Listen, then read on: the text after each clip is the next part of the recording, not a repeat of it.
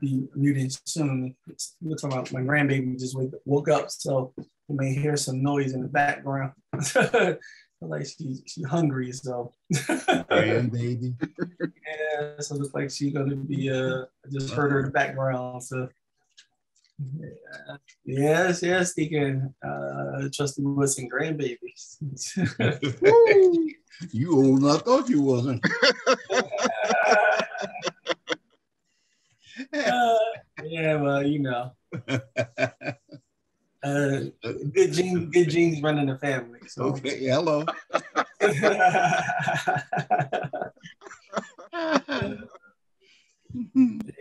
I see you guys have a lot of fun. hey man, all right. Uh, so we'll go ahead and get started. All right. Uh, so uh, uh, once again, I just like um, it's always good just kind of getting like a poll and, and a pulse on uh, what it is that we're doing so that we can find uh, methods and things of improvement. Um, so just in terms of how we do it, you know, in terms of, um, you know, uh, recordings and different things like that. Um, and you don't have to necessarily uh, say, but it kind of just helps as we kind of develop what it is that we're doing. Um, and how many how many of you online uh, and on uh, Zoom through conference? How many actually go back and watch the Bible studies? Anybody uh, actually go back and review and um, you know watch the Bible studies. Anyone? Okay. So, go ahead. Okay. Uh, point. If you miss it. Okay. Don't wait something else. All right. Uh, yeah. Okay. So reason why I was asking just in, just just in terms of how we um, you know, just what it is, expectation, what are you looking for? If it's helpful, you know, when we have the PowerPoints to be a part of it, um, is that something that's helpful? Uh, is that something that because you've taken notes, you're okay with it, you don't need it? Um, is there anyone has any uh, sort of uh, any comments in terms of uh, when you um, when you go back and look at it? Does, it um, is it important to you to have the uh, the PowerPoints and things as a part of it, or you know, is it just a replay that's important for you? Uh, reason being because it just helps us, as I said, as, as we move forward. I just like to do things that are um, that obviously you know capture what it is that we're doing, and I want to make sure that um, as a benefit that every um, everyone is getting what it is that they need. You know, if it's something important, I want to make sure that we do it. Um, if it's not, you're like, ah, you know, take it or leave it. Uh, that helps as well because then that means we're able to uh, turn around, obviously, uh, a lot faster. So just why you know I wanted to kind of get a poll just to kind of get a feel of what how everybody um, goes back and in the review. All right, so um, so we're not going to hold up too much time, but if you uh, again, I'm always welcoming your comments. I'm always welcoming your suggestions because I'm always looking for ways to improve what it is that we're doing um, so that is one of benefit to us, you know, for, for the Ebenezer family, mm-hmm. um, but also a benefit for those who are not part of our family who actually go back and, you know, enjoy uh, listening to Pastor Hamm's teaching. So, um, you know, if you have any comments uh, to that, uh, please let me know. Okay. Amen. All right. All right, so good evening once again to everyone. Welcome to our online uh, Bible study because I'm going to edit this part. so we're going to start off with like we started right from the start. All right, cut. There we go. Good evening, everyone. Welcome to our online Bible study. Thank you for being a part of our uh, online uh, study. I pray that each of you have been enjoying this fantastic study that Pastor Hamm has been uh, sharing um, on rejection um, there's been really some real powerful stuff, and I certainly hope that uh, each of you um, are being blessed by it. And if you are being blessed, uh, I encourage you to go ahead and share it with someone. Share it, you know, share it uh, with someone and let them know um, that uh, we've all been there. Um, but God has some tools. Uh, he has some things for us that where we all can get over and get through it. Amen. Amen. So at this time, without further ado, I'm going to go ahead and turn it over to uh, Pastor Hamm. Uh, Pastor Hamm, we're going to turn it over to you. All right, thank you, son. And uh, good evening to all of you who have joined us by the way of Zoom and to those of you who are online. Uh, we certainly uh, thank God uh, for your presence tonight. And before we begin our study, uh, let's have a word of prayer. Father, we thank you for this opportunity once again to assemble around your word uh, forever, O Lord. Uh, your word is settled in heaven. Uh, your word uh, is a lamp unto our feet and a light unto our path. And it's the entrance of uh, your words that bringeth light. So we thank you for this privilege to study your word because your word gives us to know who we are in Christ. And when we come to know who we are in Christ, we will always have victory over the world, the flesh, and the devil. And we know that the Holy Spirit is the divine teacher, and we pray that He will continue to open up our understanding that we may understand the scriptures. And I pray that all that shall be said and done tonight will be pleasing in your sight and that it will bring you glory and honor. And I ask it all in Jesus' name. Amen. Amen.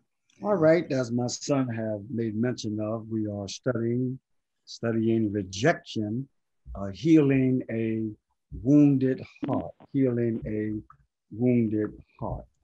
And of course, as you know, uh, my way of teaching uh, is sometime to revisit uh, just some of the things that we have uh, gone over. It's possible that uh, some may not have gotten what we have went over before. so this might give you also the opportunity to uh, uh, receive what possibly you might have uh, missed. And so to begin tonight, to revisit tonight what we have studied last Wednesday, I asked the question, what do you need to know about God? What do you need to know about God? And you see, it's, it's, it's these truths that we know about God that can bring us out of the stronghold of rejection.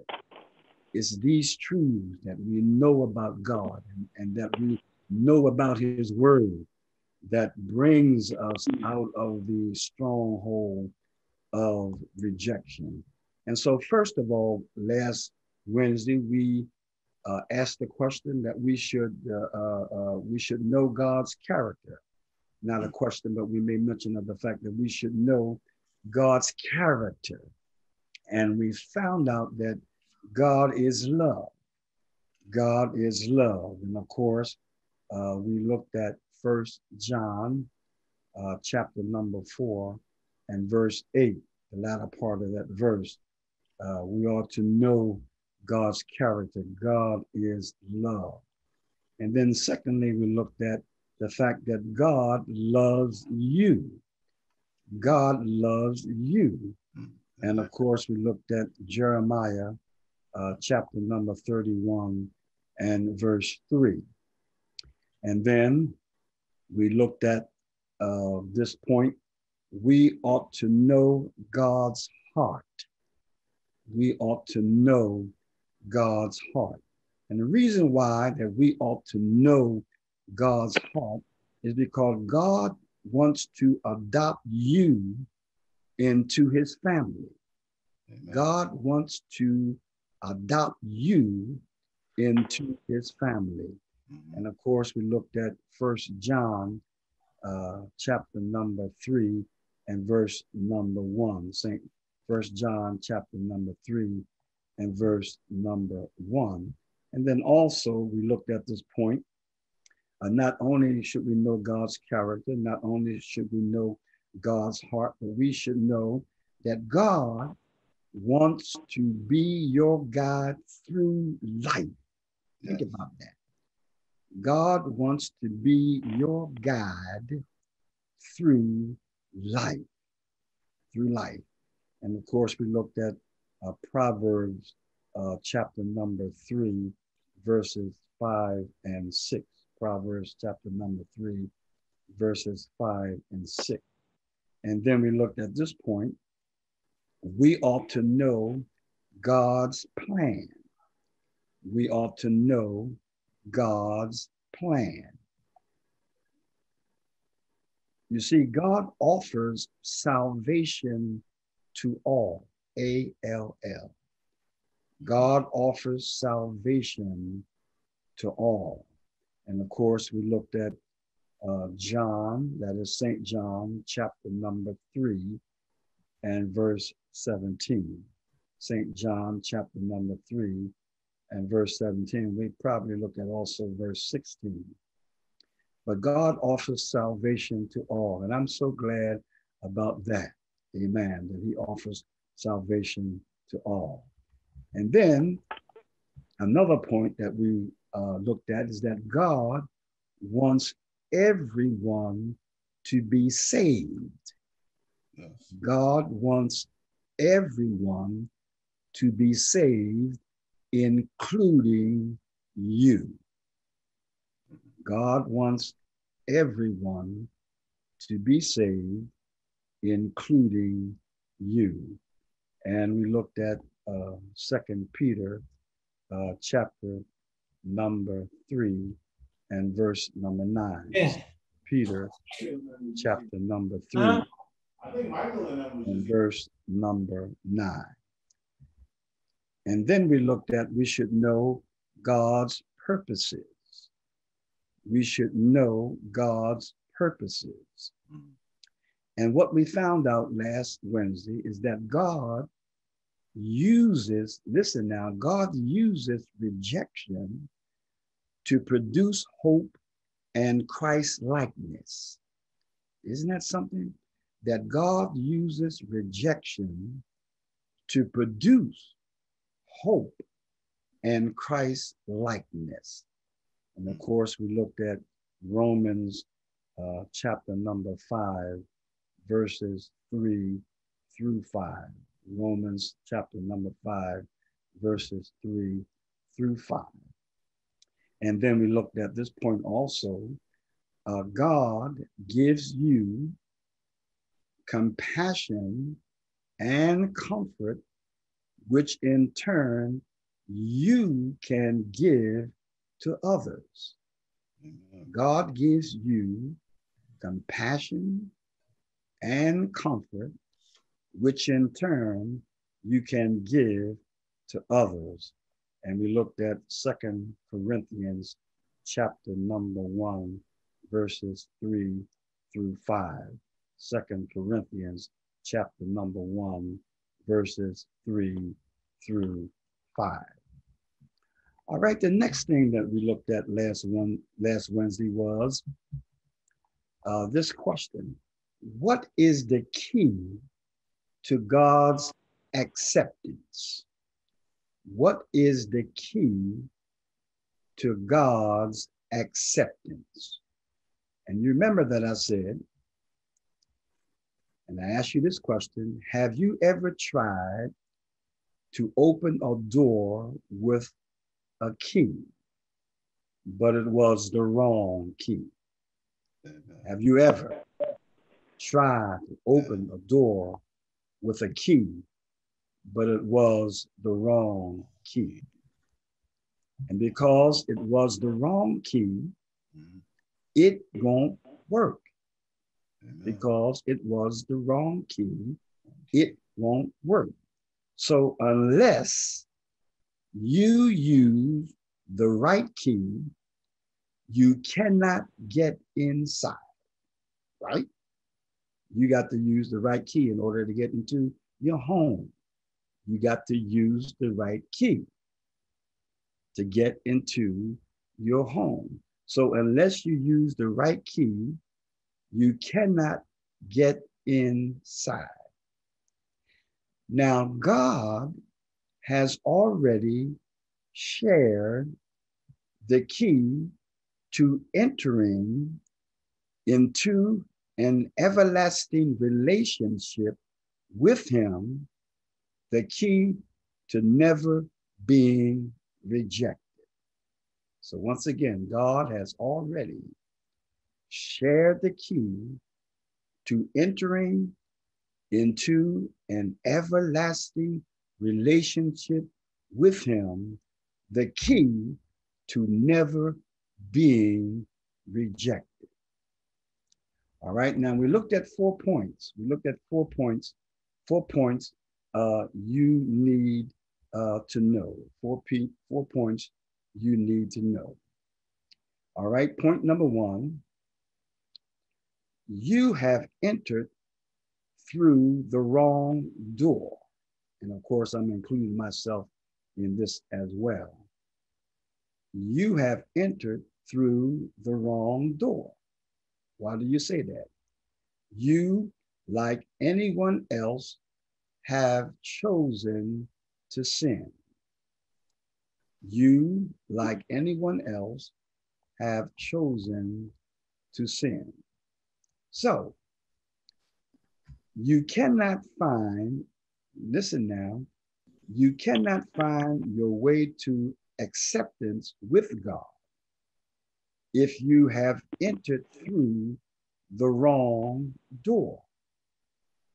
You cannot find your way to acceptance with God if you have entered through the wrong door. Because the Bible says that we all have sinned. We all have sinned. Not one of us is perfect. Not one of us is perfect. Amen. So each time we willfully choose to go our own way, Mhm. not God's way, we sin. So once again, each time we willfully, willfully choose to go our own way, not God's way, we sin. And then, of course, we looked at Romans chapter number three and verse number 23, and that says, All have sinned and come short of the glory of God. All have sinned and come short of the glory of God. That's Romans chapter number three and verse number 23. And of course, the second point that we looked at, you, and I'm including myself in this, you have lost the key to God's acceptance. You have lost the key to God's acceptance. Because you see, your sin separates you from God. Now, this is dealing with us before we met Christ. This is dealing with before we met Christ. This is what we're looking at, not after you have met Christ and received him as your personal savior. But this is what has occurred before you met Christ and received him as your personal savior. That's why I said you have lost the key as well as myself to God's acceptance because your sin, my sin, separates you and separates me from God. Hmm. And remember last week that I said, you cannot open a locked door without the right key. You cannot. It's utterly impossible. Hmm. You cannot open a locked door without the right key. So, your own sin, my own sin, has locked the right door. Your sin, my own sin, your own sin has locked the right door. Listen now, the door to God, and you have no key to open that door. Hmm. As I forestated this before we met Jesus. Now, your own sin, my own sin has locked the right door, the door to God, and you have no key to open that door. Now, because God's character is morally perfect, he is without sin. So, our sin results in a penalty or consequence. Once again, God is without sin. Our sin results in a penalty or consequence. The Bible says, the Word of God says, that the consequence of our sin is separation from God. Once again, the Bible says that the consequence of our sin is separation from God. So actually, by choosing your own way, you have separated yourself from God. Mm.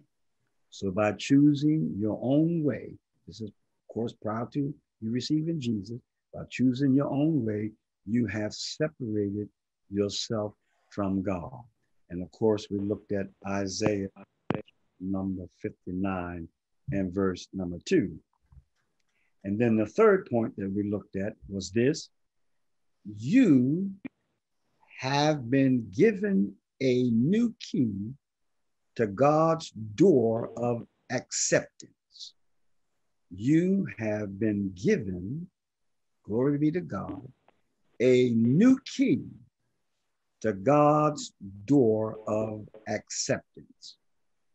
You see, God provided the way for you to be forgiven. Amen. Now, I'm, I'm including myself in that. I'm not leaving myself out of this.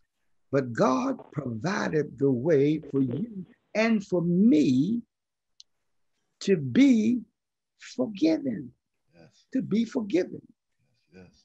You see, the Heavenly Father Mm. sent his only son, Jesus, Mhm. to die on the cross. Mhm. Listen now, to pay the penalty for your sins and my sins. God sent his own son, Jesus, to die on the cross to pay the penalty for your sins and for my sins. You see, you and I deserve to die. You and I deserve to die. But instead, listen now, Christ died for you. Christ died for me. So God offers to you the only key, the Lord Jesus Christ, that will open the door to God's eternal acceptance. You see, as I said last week, uh, Buddha is the wrong key. Islam is the wrong key. Mohammedanism is the wrong key. Confucianism is the wrong key. Shintoism is the wrong key. Secularism is the wrong key. Materialism is the wrong key. Humanism is the wrong key. Jesus Christ is, help me say this, the right key. Mm-hmm. Jesus Christ is the right key. He is the one that will open the door to God's eternal acceptance. So let's look at some scripture, some very uh, uh familiar passages of scripture to uh, show you that Jesus Christ is the right key. He is the only key. He is the only key. All right. Can you turn to uh, St. John, very familiar passage of scripture, St. John, chapter number 14. And let us please look at verse number six. St. John, chapter number 14, and verse number six.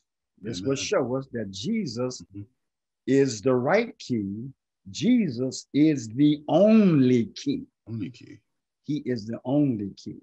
All right. Uh, John chapter number uh, 14 and verse number six. Listen to what Jesus said. Listen to what Jesus said. Jesus said unto him, that is, he's talking to Thomas, and look what he says I am the way, not I am a way, but I am the way, Mhm. the truth. And the life. No man cometh unto the Father but by me. Amen. Jesus said, I am the way. There's no other way. Mhm. I am the truth.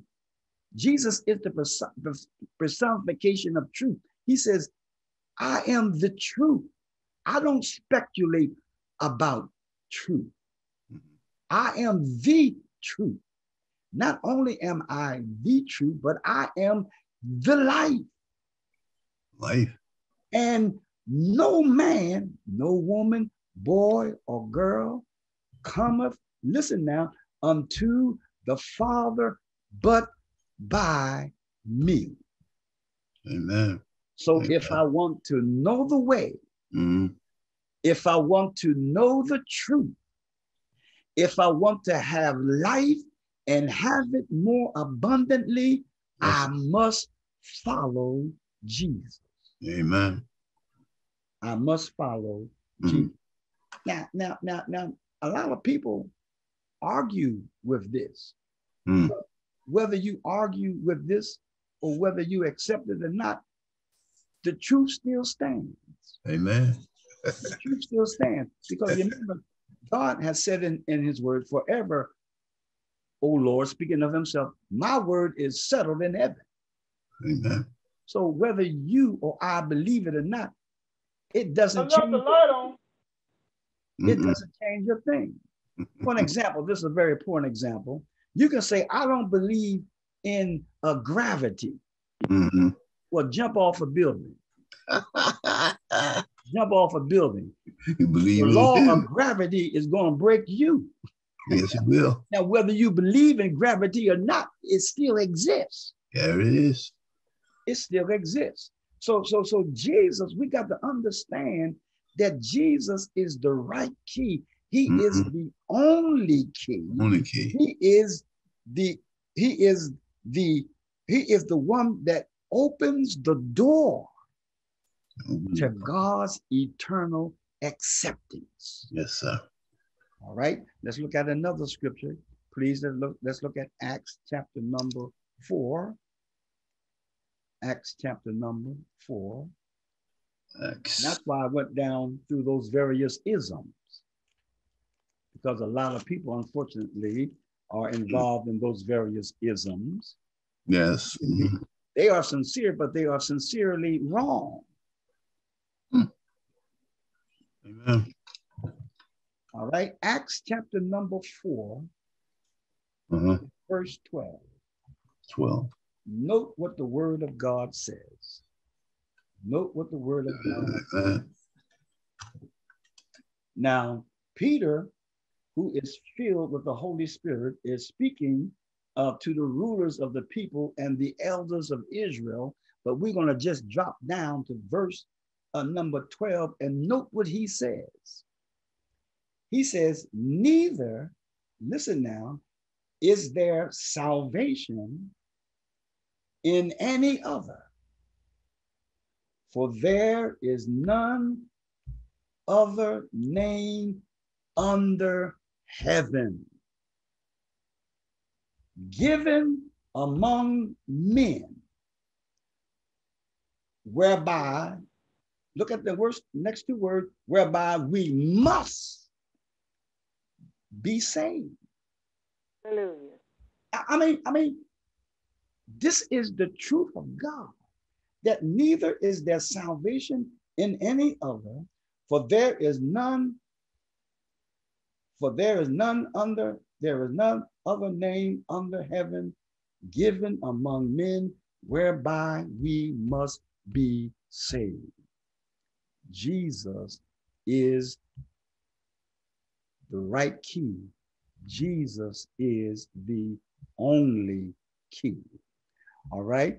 Uh, go to Hebrews. Go to Hebrews, please. Chapter number seven. Hebrews chapter number seven. And you see, it's these truths that brings us out of our strongholds of rejection. It's these truths. It's it's God's word. If we put his word in our spirit, if we put his word in our hearts, his word is able to bring us out of our strongholds of rejection. Because he is the right key, he is the only key. All right. Uh, Hebrews chapter number seven. And we're going to look at verses 24 and 25. Hebrews chapter number 7, verses 24 and 25. All right, note what it says.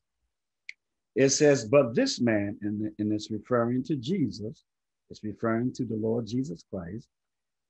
But this man, because he continueth ever hath an unchangeable priesthood. Now, note what it says in verse 25. Wherefore he, speaking of the Lord Jesus Christ, wherefore he is able also to save them, listen now, to the uttermost that come unto God by him. Oh, what a powerful truth. Wherefore, Jesus is able also to save them, to save us to the uttermost that come unto God by him. Listen now, seeing he ever liveth to make intercession for them, Jesus ever lives to make intercession for us. Right now, Jesus is praying for us. He is our lawyer. He is our advocate, seated at the Father's right hand. He saves us to the uttermost. He hmm. just didn't save us. He saved us to the uttermost. to the uttermost. All right, this is the last scripture. Go to First John, please. First John, uh, chapter number five. First John, chapter number five, and we're going to look at verses 10 and 11.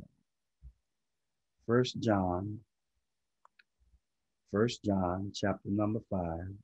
Of course, you, you got to turn toward the book of to, toward the last book in the Bible, the book of Revelation. First John, chapter number five, and we're going to look at verses 10 and 11. First John, chapter number five, verses 10 and 11. Look what it says. Verse 10. He that believeth on the Son of God hath the witness in himself. And you see, the witness in us is the indwelling Holy Spirit. The witness within us is the indwelling Holy Spirit. So he that believeth on the Son of God hath the witness in himself. Look what it says. He that believeth not, he that believeth not God, have made him woo, a liar, because he believeth not the record that God gave of his son. Verse 11 is going to tell us what the record is. And this is the record that God hath given to us what? Eternal life. And this life is in his son. Not Buddha. He's a mortal man. Confucius, Mohammed. God hath given to us eternal life, and this life is in his son. All right, uh, to show you how much God loves us, turn to Romans, please, chapter number five. Romans chapter number five and verse number eight. Whether you know it or not, you are greatly loved by God. God loves you. God loves me, and He loves us with an everlasting love. And there's nothing that can separate us from that love in Christ Jesus. Now, look what it says in Romans chapter number five and verse number eight. Chapter number five. Romans chapter number five and verse number eight. This is powerful. It says, But God, what did he do?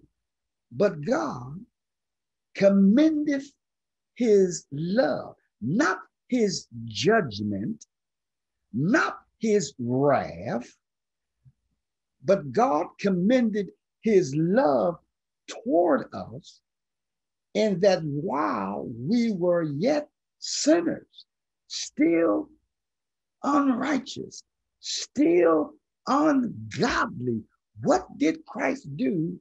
Christ died for us. Powerful. Once again, but God commended his love, not his judgment, not his condemnation, not his wrath, but God commended his love toward us in that while we were yet sinners, Christ died for us. Oh, that's powerful. That's powerful. And I, I know I've said this so many times. Sister, brother, God loves you. He loves you. And thank God he loves me. Now, this is the fourth point that we didn't get to last Wednesday. You can open, you can open the door of acceptance. You tonight can open the door of acceptance.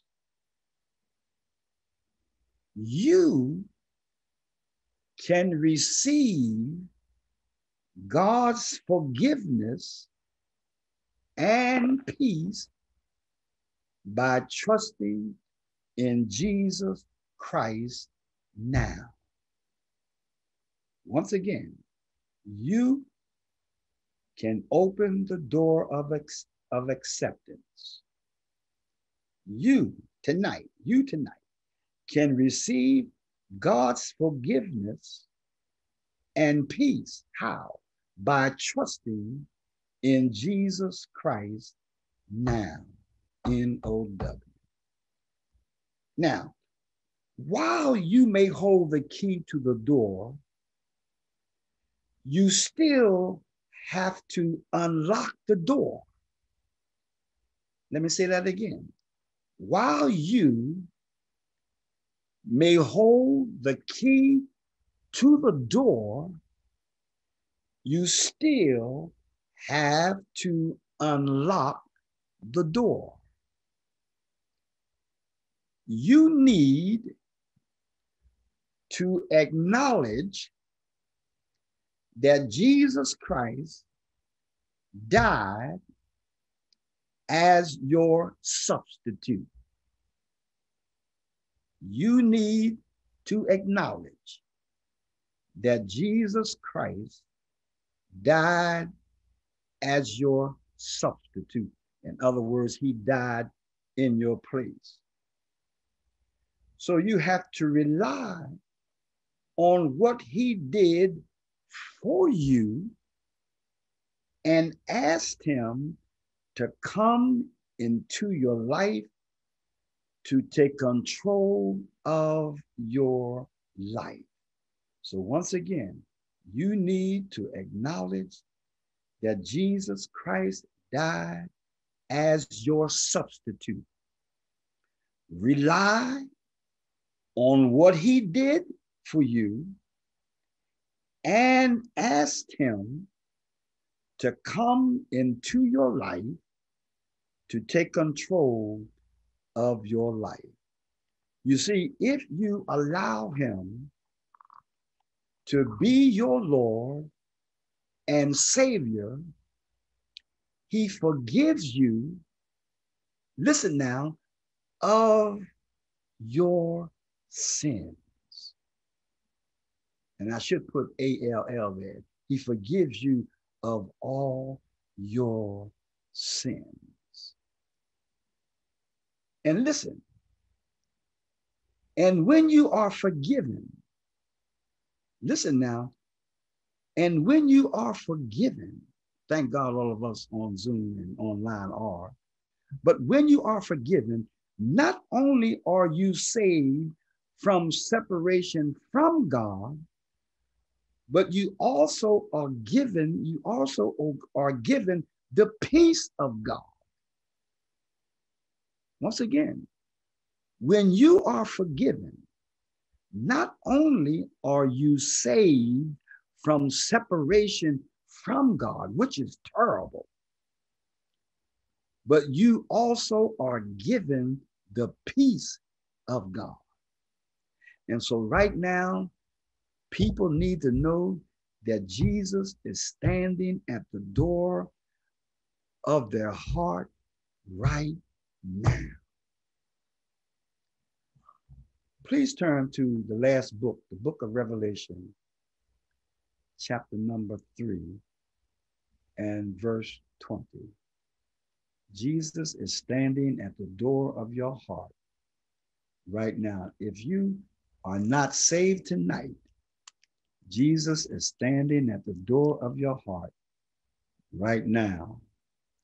Revelation chapter number three and verse 20. Revelation chapter number three and verse 20.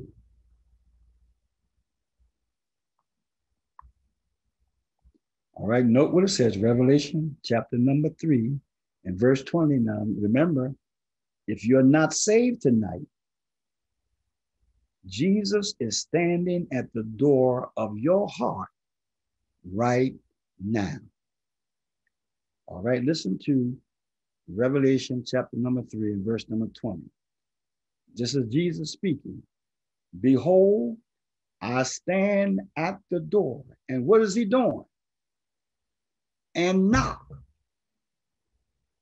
Jesus said, I'm standing at the door of your heart and I'm knocking. And I'm knocking. Jesus said, Behold, I stand at the door and knock. If any man hear my voice and do what? Open the door. Know what Jesus says? I will come into him and will sup with him and he with me.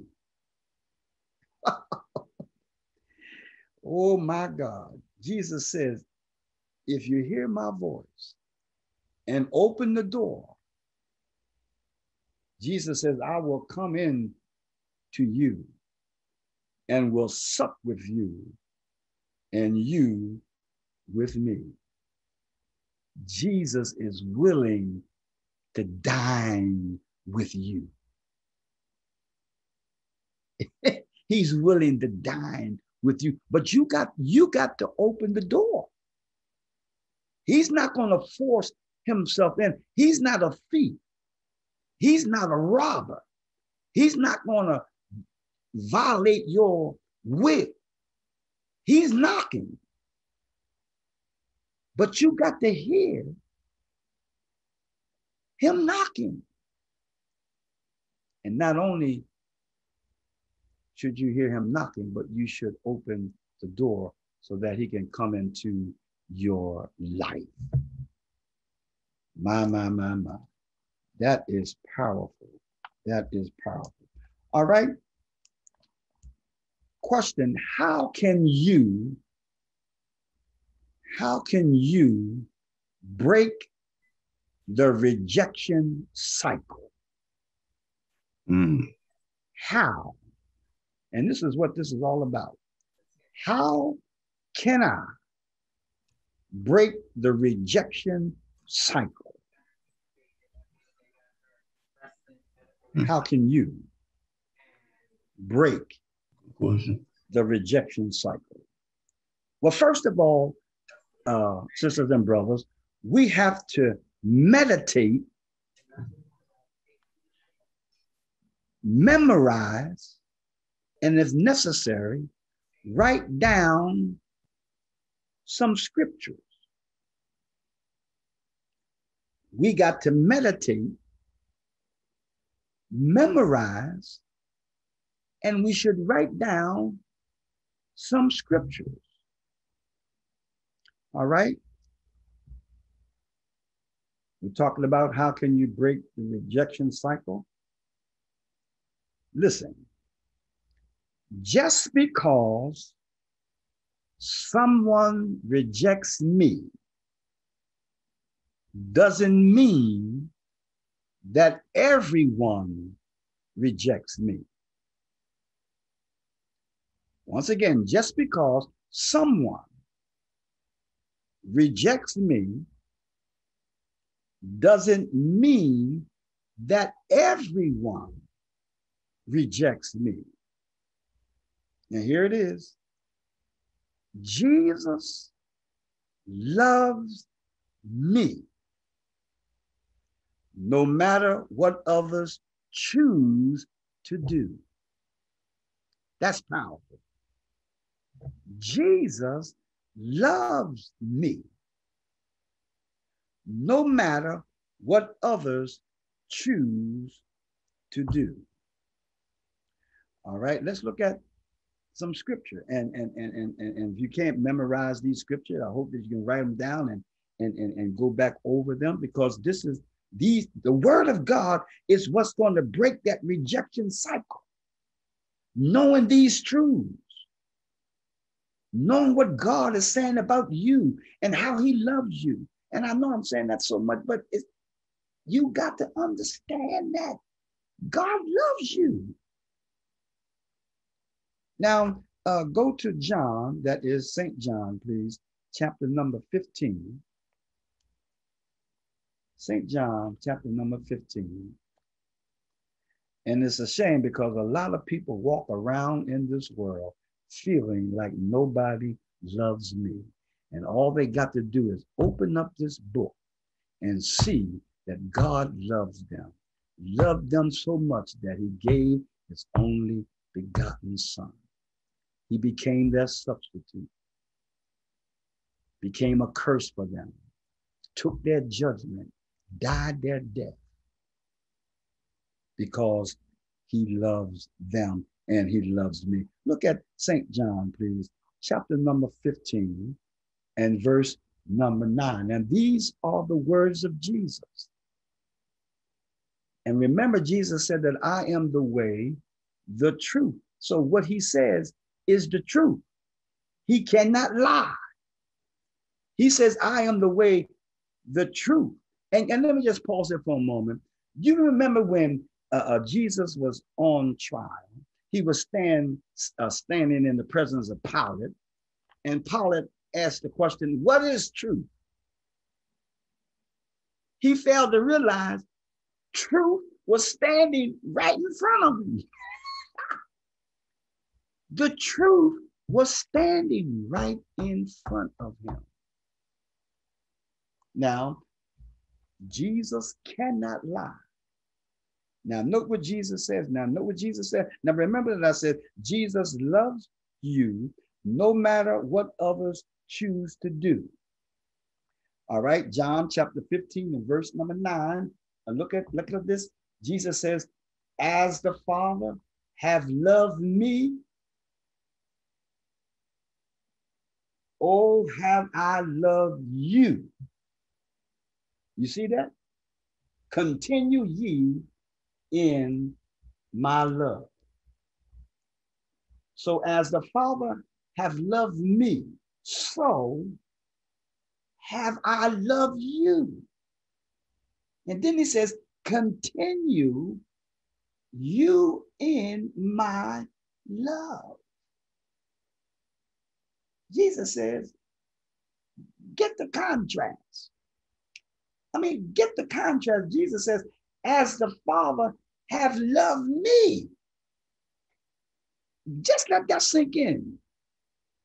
As the Father have loved me. Now look what he says now. So, so have I loved you. You get that? I mean, that is powerful. And then he says, continue you in my love. I mean, my God.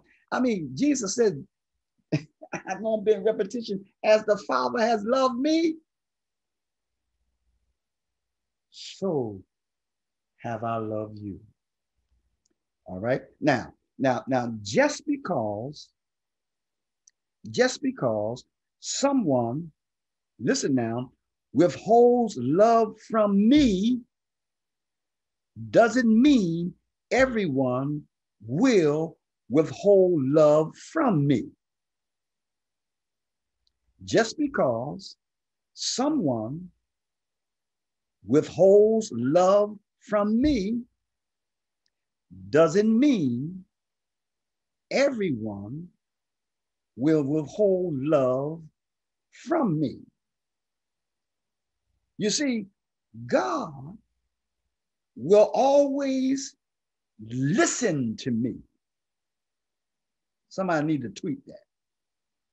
God will always listen to me and will never and will never withhold his love from me.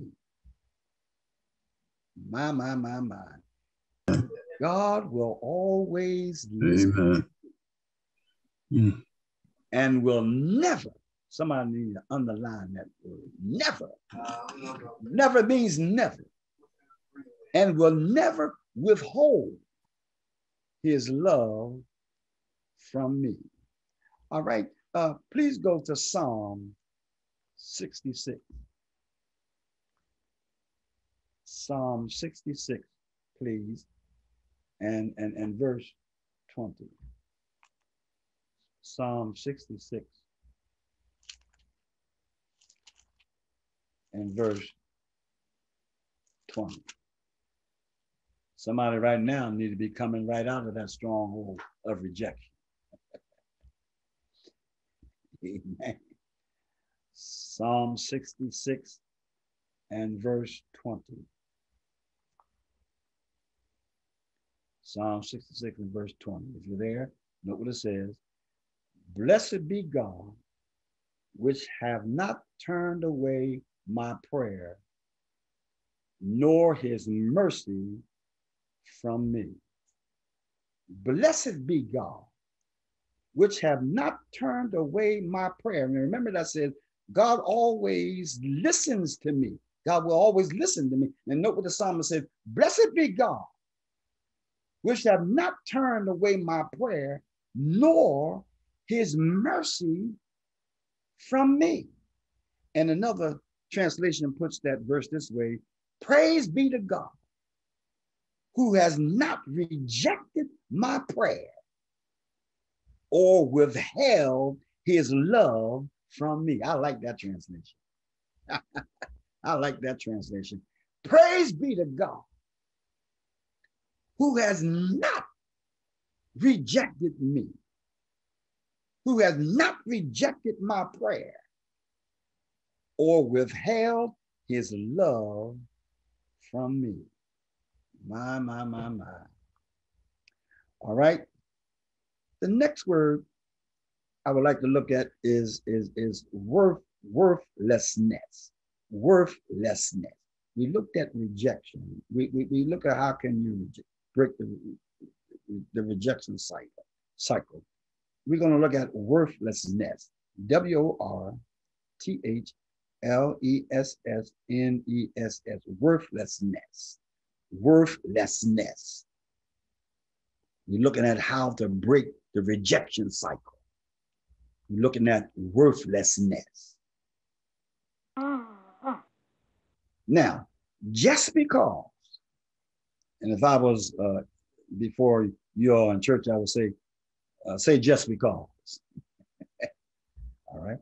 Just because someone may think that I am worthless doesn't mean everyone thinks I'm worthless. All right? Just because someone may hmm. think, may think, may think that I am worthless doesn't mean everyone thinks I'm worthless. All right. Listen, God has already established my word. Listen, God, God has already established my word. And because of him, I will always have worth. So Forget about your naysayers and your enemies and your so-called friends, your fair-weathered friends who may feel and think that you're worthless. Well, what you need to tell them is look at them dead in the face and say, you know what? God has already established my worth. And because of him, I will always have worth. And because of him, I will always have worth. All right. Uh, if you don't mind, uh, turn please to uh, St. Luke chapter number 12. St. Luke chapter number 12. You know, some of you in your life might have had someone to tell you you're not worth anything. Who are them? Who are they to tell you what you what you're not worth? St. Luke chapter number 12, please, and let us look at verses 6 and 7. This the word of God is going to break this cycle of rejection. Get this word in your spirit, get this word in your heart. St. Luke chapter 12, verses 6 and 7. Now, now know what Jesus says. Know what Jesus says. He says, he says, Are not five sparrows sold for two farthings? And not one of them is forgotten before God. Now, now, now, now let's, let's, let's just pause here for a moment. Jesus said, Are not five sparrows sold for two farthings? And not one of them is forgotten before God. That verse tells us that God is so concerned about his creation that he takes care of all of his creation. You don't see a sparrow on a tree limb saying to another sparrow, Can you tell me where I can get some food? can you can you tell me where I can go because I'm really stressed?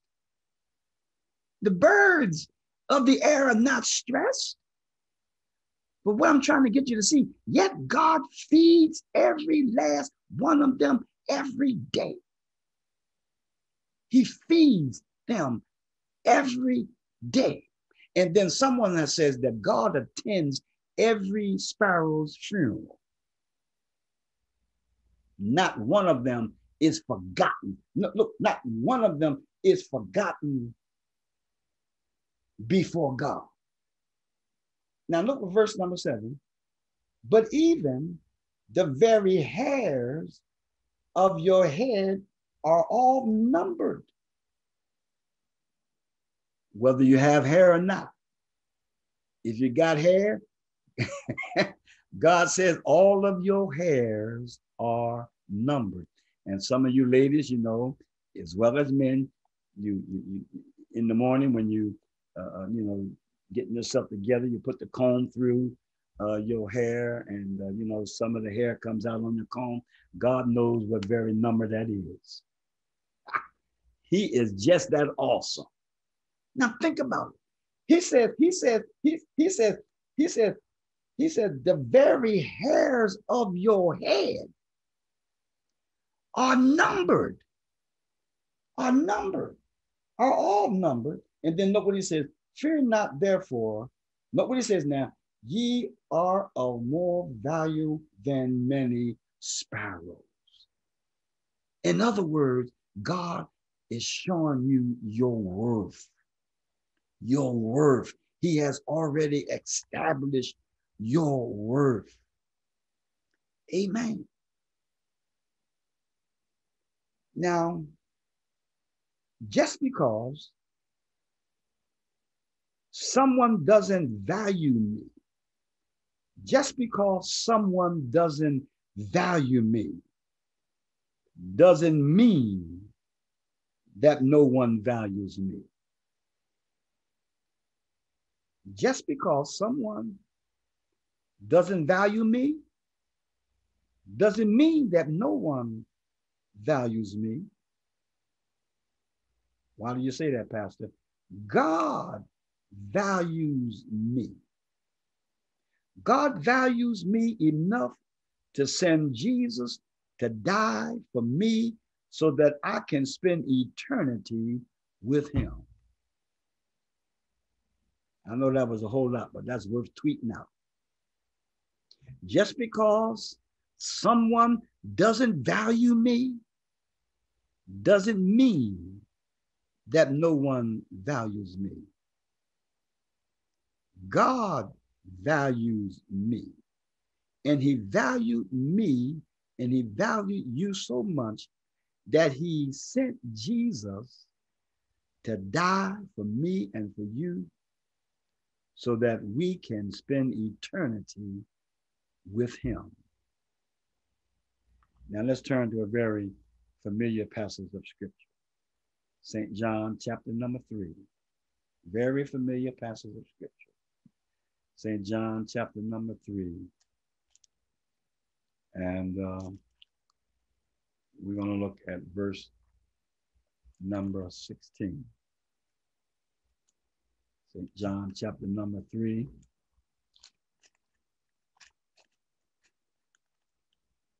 And we're going to look at verse number 16.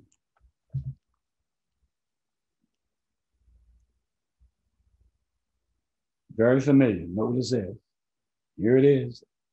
For God not just loved, but God so loved the world. That's the, the world of humanity. You can put your name there. For God so loved the world. What did he do? That he gave his only begotten Son, that whosoever believeth in him should not perish, but have everlasting life. All right, we looked at rejection, we looked at worthlessness. Now we're going to look at self hate. Self hate. Self hate. All right, here we go again. Just because someone has rejected me doesn't mean I should hate myself. That's powerful. And unfortunately, people hate themselves because they have received rejection from other people. But this is what this study is all about.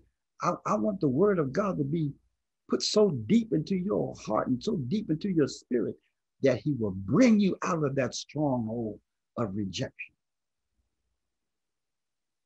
It's his word. So just because someone has rejected me doesn't mean I should hate myself. You see, the reason why I'm not going to hate myself is because God has always loved me. The reason why I am not going to hate myself is because God has always loved me and I can rely on his love. I can rely on his love. I mean, I can depend on his love. All right. Uh, please turn to First John, First Epistle of John, please. Chapter number four. That's going back toward the book of Revelation. First John, chapter number four. And we're going to look at verse 16.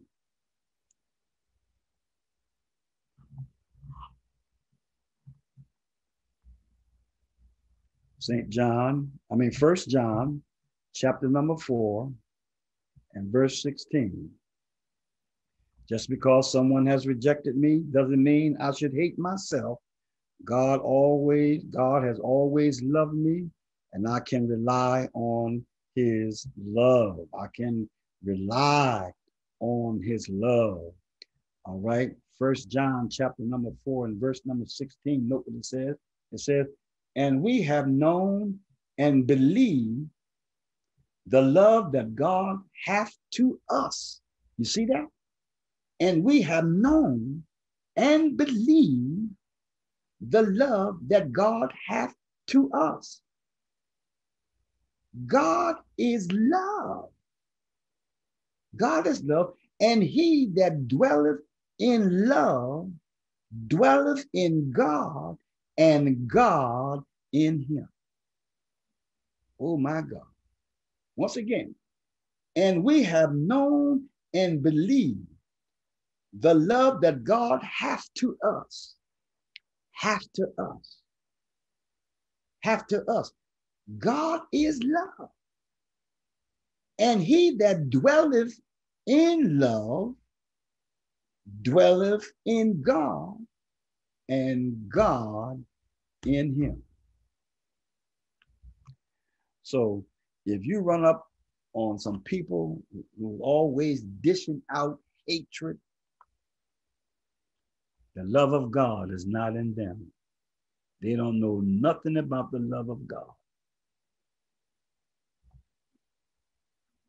And you got some people like that. They are angry and bitter and and and and and and, and just say anything to you. They don't have the love of God in them. They don't have the love of God in them. All right. Just because someone has rejected me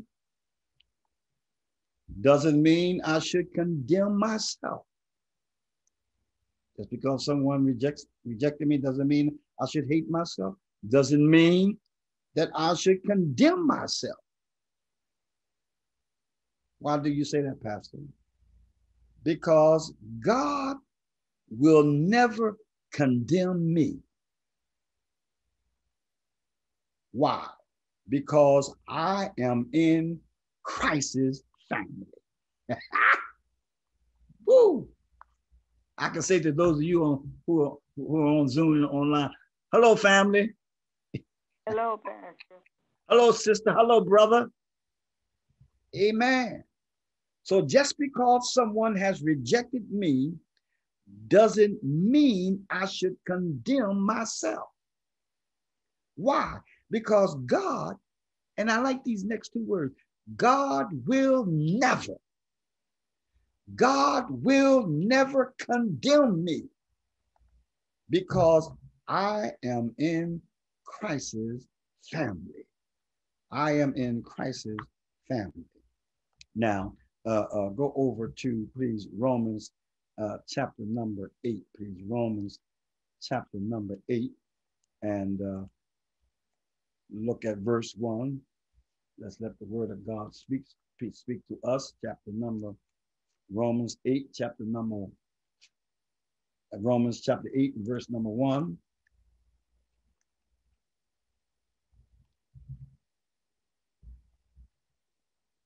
I'm just going to read the first portion of verse 1.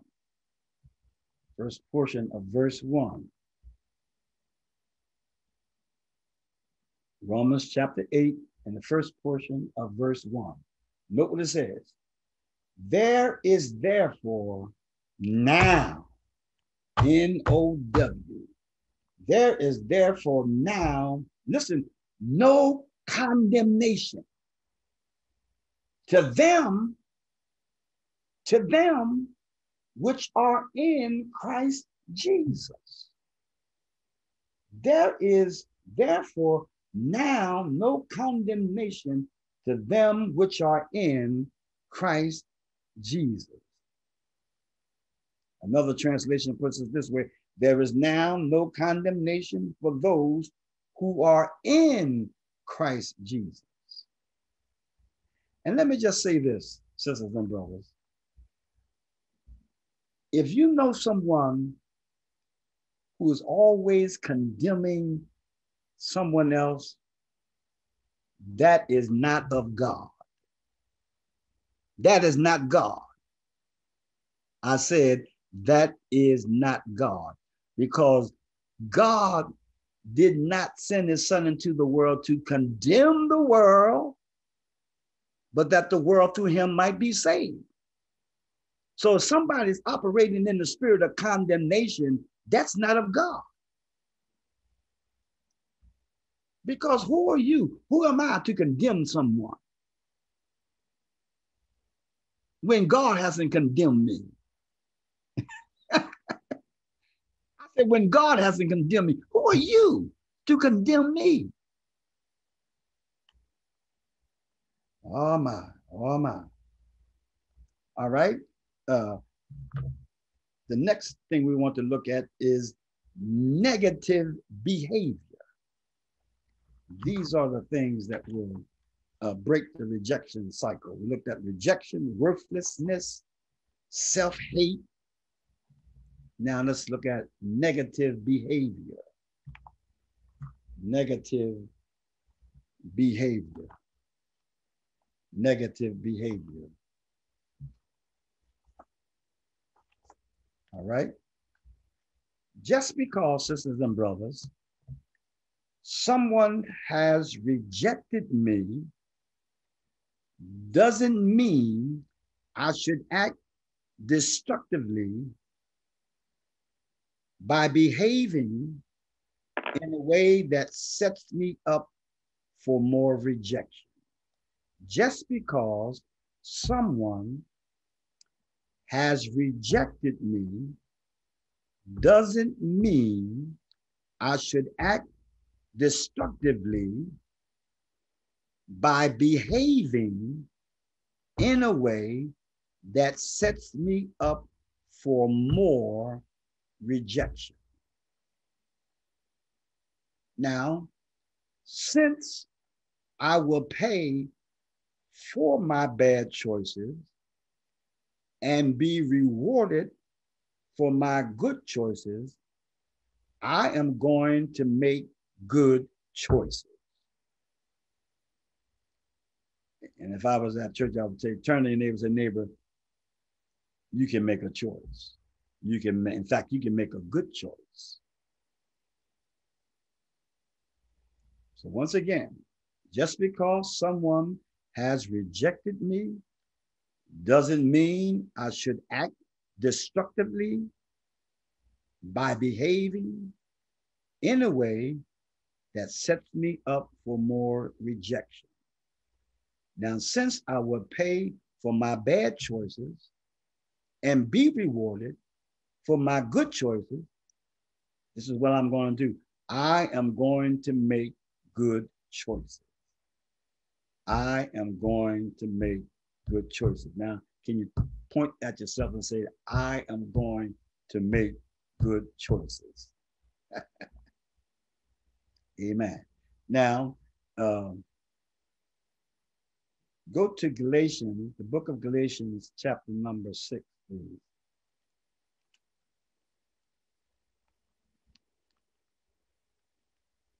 Galatians chapter number six. And uh, let us look at uh, verses seven and eight. Galatians chapter number six.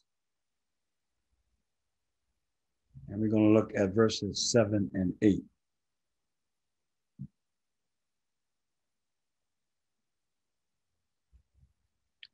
Galatians chapter 6, verses 7 and 8. Note what it says. Be not deceived. God is not mocked.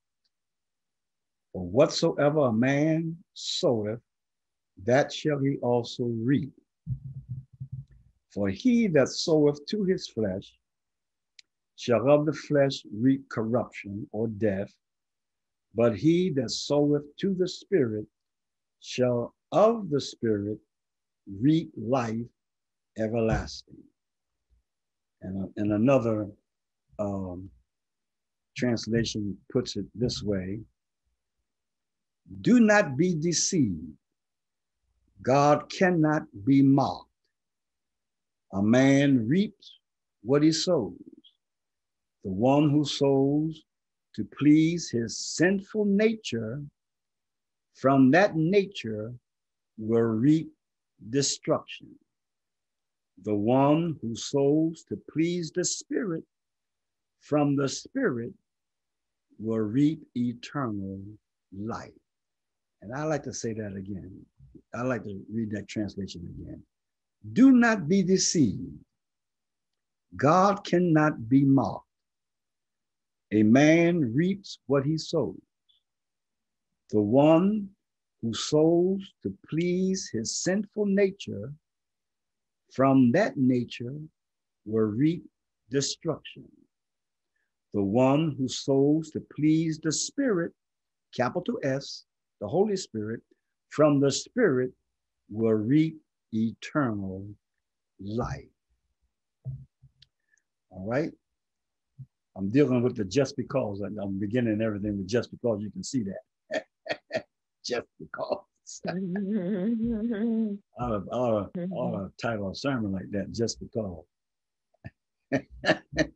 it's just because. okay, here's another just just because.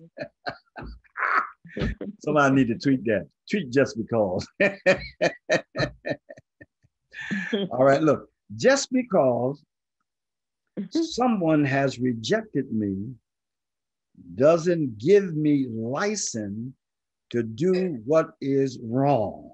Amen. Just because someone has rejected me doesn't give me license to do what is wrong. It's almost like you did it to me, Like the devil made me do it. you. but but as a child of God, we got to take the high road. We got to take the high road. Once again, just because someone has rejected me doesn't give me license to do what is wrong. Why? Because God has given me the power to do what is right. God has given me the power to do what is right. So sin will not be my master. Sin will not be my master. Now, note what God says to a Cain. Go, go to Genesis. Go to Genesis uh, chapter number uh, four. And uh, look what God says to Cain. Genesis chapter 4 and verse number 7.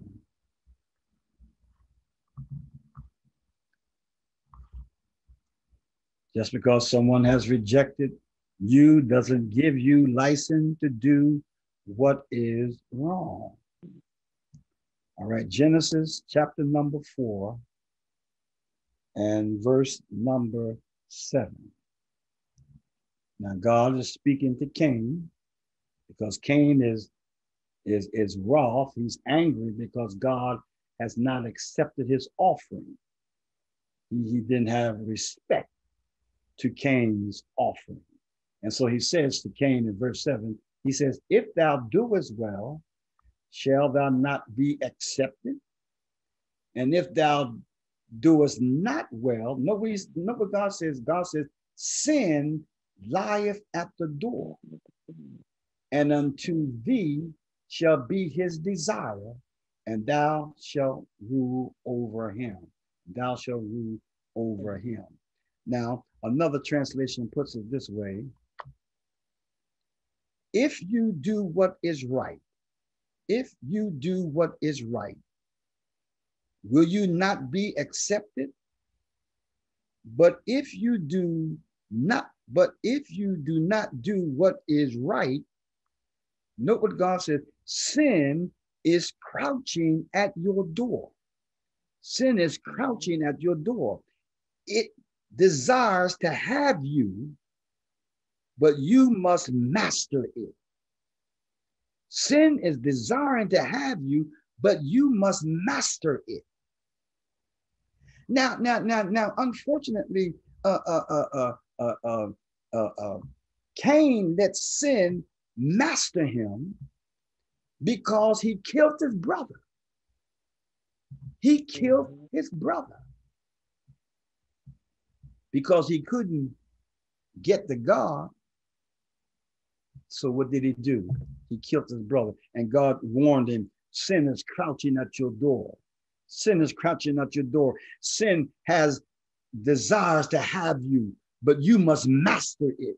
And unfortunately, Cain did not master uh, that sin because, unfortunately, he killed his brother. He killed his brother. Now, let me just say this. Um, um, they were taught the right way to approach God.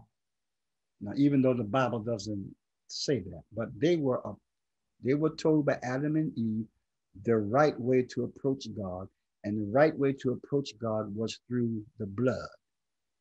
That's why the Lord had respect to Abel's uh, uh, sacrifice because he gave of the uh, first things of the flock. In other words, an animal was slain and, and, and blood was presented.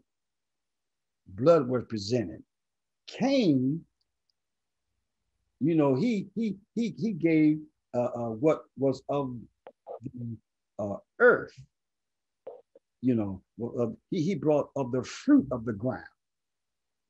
There's no blood in that. You see, there's no blood in that. And you see, what we got to understand is this, sisters and brothers. This is the principle. When Abel brought of the first, first, first things of his flock and of the fat thereof, and the reason why the Lord had respect unto Abel and, and to his offering is because Abel was confessing, I am a sinner. And the only way that I can come into the presence of a holy God is through the blood. Mm-hmm. And that's the reason why God didn't have no respect to Cain's offering. Because Cain, because Cain uh, uh, brought of the fruit of the ground an offering to the Lord. There, there, there's no blood in fruit. And so what Cain was saying, I am not a sinner. He was acknowledging that I am not a sinner. I'm all right. I'm all right. And do you not know, sisters and brothers, we got so many people today who feel as though that they are all right. You know, I don't have to go to church. I don't have to give my life to Jesus. Because at the end, God's going to weigh the good and the bad, and my good outweighs the bad, then he's going to accept me. That's the devil's lie. The only way that we can come before God and have right standing with God is through the precious blood of Jesus. Jesus is the one who makes us righteous and puts us in right standing with God. So Abel was saying, I'm a sinner. I'm acknowledging I'm a sinner. And I know that the only way that I can come into your holy presence is through the blood. Cain was saying, I'm all right. I don't need to come through the blood. I'm just going to give God the fruit of the ground. That's why God rejected his offering because he wasn't coming the right way. And sisters and brothers, let me tell you, the only way you can, you can come to God is the right way. The only way you can come to God is, is, is the right way, not in your own way, but you got to come God's way. And God's way is the Lord Jesus Christ. God's way is the Lord uh, Jesus Christ. And so I'm, I'm going to have to um, stop there. Um, uh, we will pick up from that point uh, if the Lord is willing um, mm-hmm. Uh, next Wednesday. But this will be the question that I will begin with uh, next Wednesday if the Lord is is is willing. Mm-hmm. Ever since my closest friend rejected me, I expect other friends to do the same. So how can I keep from feeling like a reject? Mm-hmm. All right. We're going to begin, if the Lord is willing, with this question next Wednesday. The question is Ever since my closest friend rejected me, I expect other friends to do the same. So, how can I keep from feeling like a reject? And Father, we just thank you uh, for your word. We thank you for those who have joined us by the way of Zoom and those who have joined us by uh, being online. And we pray and, and, and, and hope that uh, your word has strengthened them and, and that your word have encouraged them, and that your word is bringing them out of the stronghold of rejection. Amen. The word emphatically tells us that you love us. Yes. And we thank you for your love, for your Mhm. love. Yes. Yes. I pray that all that have been said tonight have been Mhm. pleasing in your sight, and that has brought you glory and honor. And I ask it all in Jesus' name. And as I always say in closing, Uh. I will Uh. see you in church. Amen.